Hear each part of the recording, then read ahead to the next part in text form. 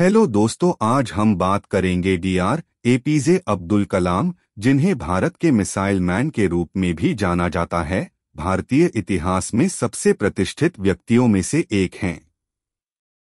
वह एक वैज्ञानिक, शिक्षक और लेखक थे, जिन्होंने अपना जीवन भारत में विज्ञान और प्रौद्योगिकी के विकास के लिए समर्पित कर दिया। डॉ. कलाम की सफलता की कहानी ने दुनिया भर के लाखों लोगों को प्रेरित किया है। शुरुआत से लेकर भारत के राष्ट्रपति बनने तक, उन्होंने दिखाया कि कड़ी मेहनत, समर्पण और कभी हार न मानने वाले रवैये से कुछ भी संभव है। प्रारंभिक जीवन और शिक्षा। डॉ. एपीजे अब्दुल कलाम का जन्म 15 अक्टूबर 1931 को भारत के तमिलनाडु के एक छोटे से शहर रामेश्वरम में हुआ था। वह एक मुस्लिम परिवार में पाँच भाई बहनों में सबसे छोटे थे। उनके पिता एक नाव मालिक थे और उनकी माँ एक गृहिणी थीं। एक विनम्र पृष्ठभूमि से होने के बावजूद डॉक्टर कलाम में छोटी उम्र से ही ज्ञान की प्यास थी उन्होंने रामेश्वरम प्राथमिक विद्यालय और रामनाथपुरम में श्वाटज उच्च माध्यमिक विद्यालय में अपनी प्रारंभिक शिक्षा पूरी की अपनी माध्यमिक शिक्षा पूरी करने के बाद उन्होंने भौतिकी का अध्ययन करने के लिए तिरुचिरापल्ली के सेंट जोसेफ कॉलेज में दाखिला लिया। हालाँकि वह सिर्फ़ स्नातक की डिग्री से संतुष्ट नहीं थे, इसलिए उन्होंने आगे की पढ़ाई करने का फैसला किया। 1955 में डॉक्टर कलाम ने मद्रास विश्वविद्यालय से भौतिकी में स्नातक की उपाधि प्राप्त की। और उन्नीस सौ सत्तावन में वे एरोस्पेस इंजीनियरिंग का अध्ययन करने के लिए मद्रास प्रौद्योगिकी संस्थान चले गए। यहीं पर उन्होंने रॉकेट इंजीनियरिंग में रुचि विकसित की और इसे अपने करियर के रूप में आगे बढ़ाने का फैसला किया। विज्ञान और टेक्नोलॉजी में करियर विज्ञान और टेक्नोलॉजी में डॉक्टर कलाम का करियर 1960 के दशक में शुरू हुआ जब वे एक वैज्ञानिक के रूप में रक्षा अनुसंधान और विकास संगठन डीआरडीओ में शामिल हुए। वह पहली स्वदेशी निर्देशित मिसाइल, पृथ्वी के विकास में शामिल थे, जिसे 1988 में सफलतापूर्वक लॉन्च किया गया था। उन्होंने बैलिस्टिक मिसाइलों की अग्नि श्रृंखला के विकास में भी महत्वपूर्ण भूमिका निभाई थी। उन्नीस सौ बानवे में, डॉक्टर कलाम भारत के प्रधानमंत्री के मुख्य वैज्ञानिक सलाहकार बने और 1999 में, उन्हें भारत सरकार के प्रधान वैज्ञानिक सलाहकार के रूप में नियुक्त किया गया। अपने कार्यकाल के दौरान, उन्होंने भारत के नागरिक अंतरिक्ष कार्यक्रम और सैन्य मिसाइल विकास कार्यक्रमों में महत्वपूर्ण योगदान दिया। विज्ञान और प्रौद्योगिकी में डॉक्टर कलाम के योगदान को राष्ट्रीय और अंतर्राष्ट्रीय स्तर पर मान्यता मिली। उन्हें पद्म भूषण पद्म विभूषण और भारत रत्न सहित कई पुरस्कार मिले, जो भारत का सर्वोच्च नागरिक सम्मान है। एक वैज्ञानिक के रूप में अपने काम के अलावा, डॉक्टर कलाम एक शिक्षक और संरक्षक भी थे। उन्होंने भारतीय प्रौद्योगिकी संस्थान आईआईटी, दिल्ली, बनारस हिंदू विश्वविद्यालय और अन्ना विश्वविद्यालय सहित कई विश्वविद्यालयों में पढ़ाया। उन्होंने विज्ञान, प्रौद्योगिकी और आध्यात्मिकता पर कई पुस्तकें भी लिखीं। प्रेसिडेंसी। 2002 में डॉक्टर कलाम के जीवन में एक नया मोड़ आया, जब उन्हें तत्कालीन सत्तारूढ़ भारतीय जनता पार्टी, भाजपा, द्वारा भारत के राष्ट्रपति पद के लिए नामांकित किया गया।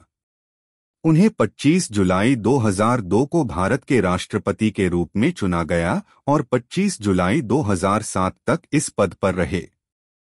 राष्ट्रपति के रूप में अपने कार्यकाल के दौरान डॉक्टर कलाम ने विशेष रूप से युवा लोगों के बीच विज्ञान और टेक्नोलॉजी को बढ़ावा देना जारी रखा। उन्होंने नवाचार और उद्यमशीलता को प्रोत्साहित करने के लिए कई कार्यक्रम शुरू किए। जैसे कि पूरा ग्रामीण क्षेत्रों में शहरी सुविधाएँ प्रदान करना कार्यक्रम। डॉक्टर कलाम अपनी सादगी, विनम्रता और पहुँच के लिए जाने जाते थे। उन्हें अक्सर लोगों के राष्ट्रपति के रूप में संदर्भित किया जाता था क्योंकि जनता के साथ उनके घनिष्ठ संबंध ने देश में सर्वोच्च पद पर रहते हुए भी उनके डाउन टू अर्थ व्यक्तित्व को बनाए रखा। परंपरा डॉक्टर एपीजे अब्दुल कलाम की विरासत दुनिया भर के लोगों को प्रेरित करती है। वह एक सच्चे दूरदर्शी थे, जिनका मानना था कि सामाजिक और आर्थिक विकास के लिए विज्ञान और प्रौद्योगिकी का उपयोग किया जा सकता है। उन्होंने अपना जीवन इस उद्देश्य के लिए समर्पित कर दिया और उनके योगदान ने भारत के विकास पर स्थायी प्रभाव छोड़ा है। डॉ कलाम की जीवन गाथा भी कड़ी मेहनत और दृढ़ता की शक्ति का एक वसीयतनामा है।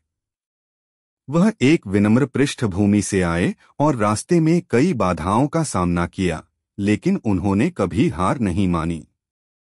उनकी सफलता की यात्रा उन सभी के लिए प्रेरणा का स्रोत है जो अपने सपनों को हासिल करना चाहते हैं।